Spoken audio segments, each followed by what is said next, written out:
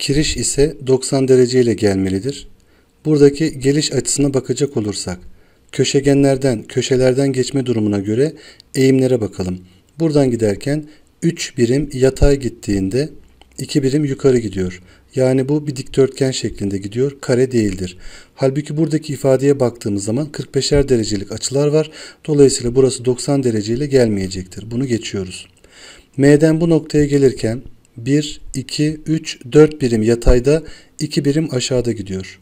Buradaki AB istikametine bakacak olursak burada da 1, 2, 3, 4 birim dikeyde 2 birim yatayda gidiyor. Yani bunun 90 derece döndürülmüş olduğu için bu tam buraya 90 derece ile gelir. Bu da zaten dikey ve yatay olduğu için yine 90 derece ile gelir ve orta noktasını zaten seçtik biz burada. İkinci ve üçüncü şekillerde AB M merkezli çemberin kirişi olabilir. Buna göre doğru cevabımız B seçeneğidir.